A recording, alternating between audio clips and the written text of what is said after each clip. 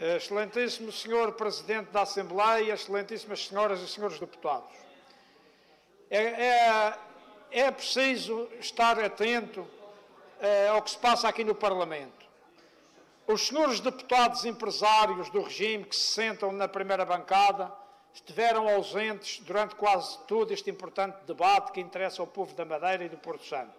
Só agora é que chegou o, o senhor eh, deputado do regime o Sr. Deputado Empresário Jaime Felipe, o Sr. Miguel de Souza, boa noite até amanhã, se Deus quiser, porque isto não interessa a ele, porque não dá lucro a ele, portanto eles não estão cá.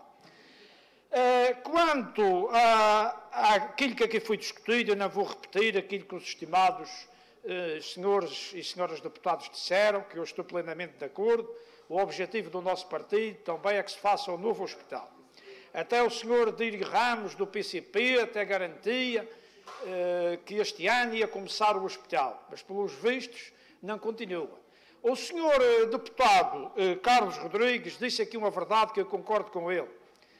Ele, apesar de ser uma pessoa mazinha, tem momentos de lucidez. Ele diz que a Assembleia da República já aprovou a moratória para o novo hospital. A Assembleia Regional também.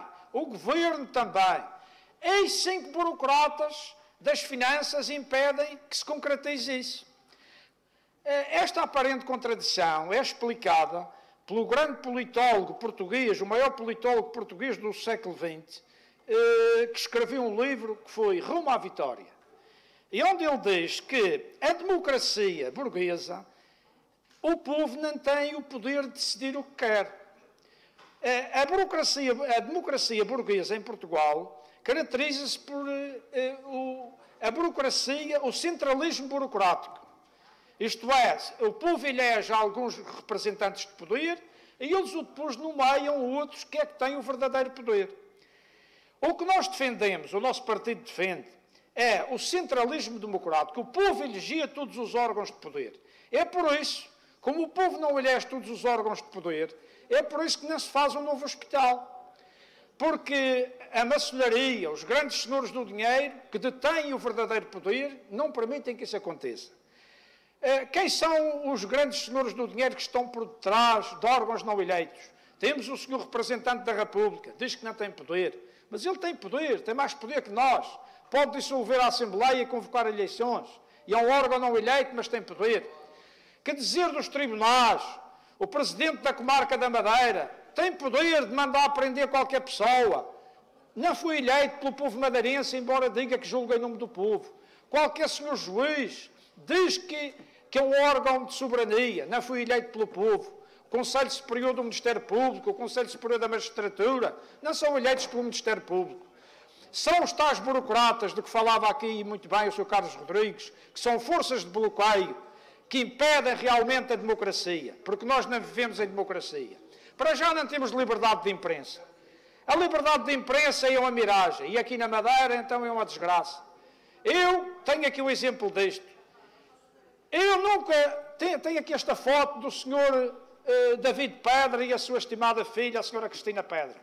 Eu nunca disse uma palavra contra o senhor. Nunca escrevi uma frase contra o senhor. Apenas fui diretor do jornal Garajal durante três meses em solidariedade com o Sr. Gil Canho, o Sr. Eduardo Wells e os tribunais fascistas daqui desta terra, inimigos da liberdade de imprensa, inimigos da democracia, começaram a penhorar dinheiro para dar ao Sr. David Pedra. E eu que sou um desgraçado, que não sou rico, não tenho dinheiro no banco, não tenho nada, ainda tenho que pagar dinheiro a um senhor que é milionário. No ano passado, é o que é que me fizeram? Penhoraram, não é verdade, o, a minha devolução do IRS. Para quem foi esse dinheiro? Para o Sr. David Pedra, 2.954 euros. Este ano, a devolução do IRS foi 1.200 euros, novamente para o Sr. David Pedra. O Sr. David Pedra já penhorou o apartamento do Sr. Gil Canho, já penhorou o dinheiro da banana que ele tem na, na Ponta de Sol, já penhorou duas vezes a, a devolução do IRS. Meus amigos, acham que vivemos em democracia. Não vivemos, obrigado, não, senhor. Deputado. Vivemos numa democracia de fachada, que não existe, que é só para enganar o povo da Madeira e do Porto Santo. Muito, Muito obrigado. obrigado.